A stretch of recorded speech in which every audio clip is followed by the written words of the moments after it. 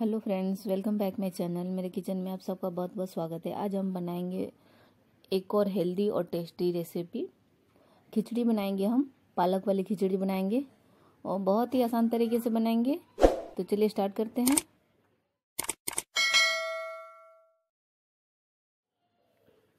और अगर वीडियो पसंद है तो वीडियो को लाइक ज़रूर कर देना और चैनल को सब्सक्राइब भी कर देना और बेल आइकन भी दबा देना ताकि आने वाली रेसिपी का नोटिफिकेशन आपको मिल सके। तो मैंने यहाँ पे एक कप चावल लिया है और आधा कप हरी मूंग ली है, छिलके वाली, और इसे मैंने अच्छे से धो के साफ़ कर लिया है। अब अब एक प्रेशर कुकर लेंगे, इसमें चावल डाल देते हैं, और दाल को भी मैंने अच्छे से धो के साफ़ कर लिया है।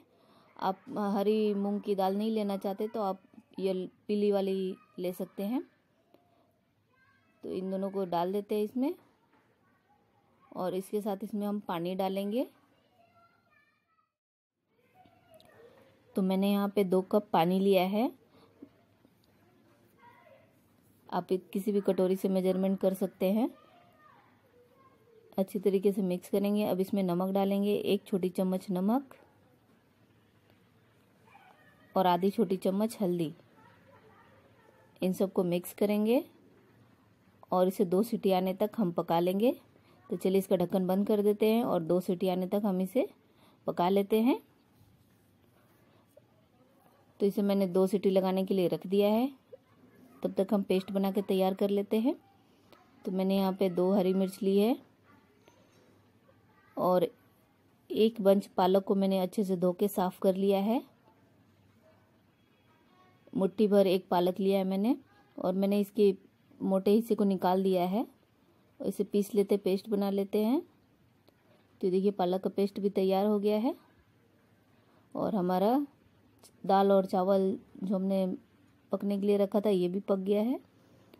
और पानी देखिए, मैंने ज़्यादा नहीं डाला था, मैंने दो ही कप डाला था। तो ये खिचड़ी तो तैयार हो गई है। चलिए, अब तड़का लगा देते हैं।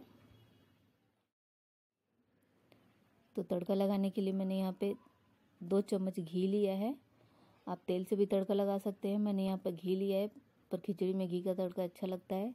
और आधी छोटी चम्मच जीरा। अब इसमें डालेंगे प्याज, बारीक कटा हुआ। तो मैंने यहाँ पे एक प्याज को बारीक कट कर लिया है। इसे भी इसमें डाल देते हैं और हम गोल्डन ब्राउन होने तक इसे सेक लेते हैं। मैंने यहाँ पे एक मीडियम साइज़ के प्याज को बारीक कट कर लिया है। आप लहसुन खाते हैं तो लहसुन भी इस टाइम डाल सकते हैं। और देखिए, प्याज का कलर चेंज हो गया है। अब इसमें हम थोड़े मसाले ऐड कर देते हैं। आधी छोटी चम्मच मिर्ची पाउडर। आधी छोटी चम्मच जीरा पाउडर।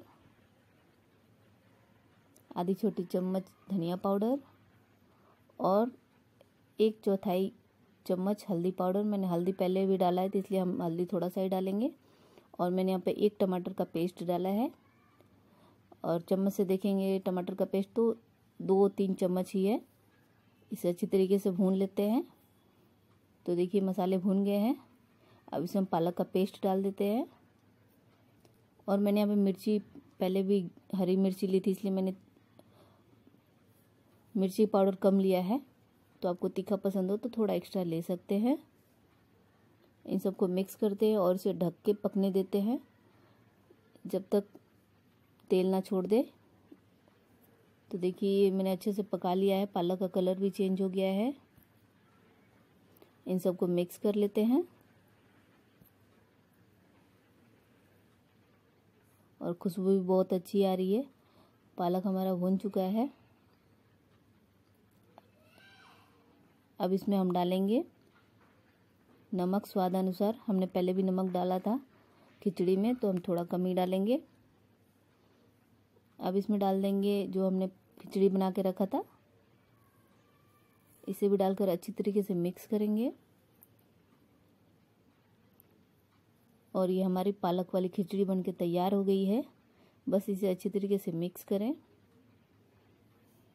तो खिचड़ी हमारी तैयार है, इसके ऊपर थोड़ा सा हरा धनिया डालते हैं और ये खिचड़ी तैयार है। और इसके ऊपर मैं थोड़ा सा तड़का लगाऊँगी, घी और लाल मिर्ची का। आप इसे किस तरीके से खाना चाहेंगे? दही के साथ, घी, खिचड़ी।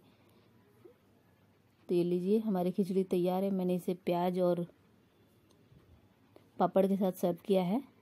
आप किस तरीके से इसे खाना चाहेंगे, आप मुझे कमेंट करके ज़रूर बताइए और रेसिपी पसंद है तो वीडियो को लाइक ज़रूर कर देना। और अपने फैमिली फ्रेंड के साथ शेयर ज़रूर करें। आप लोग वीडियो देखते हैं पर लाइक नहीं करते तो प्लीज़ मुझे सपोर्ट करें। तो देखिए, हमारी खिचड़ी बन के तैयार है। प्लीज़ आप मुझे सपोर्ट करें और फैमिली फ्रेंड के साथ वीडियो शेयर भी करें और मुझे कमेंट करके बताएँ मेरी रेसिपी आपको कैसी लगती है। मैं मिलती हूँ नई रेसिपी के साथ। तब तक लिए bye bye. Thank you for watching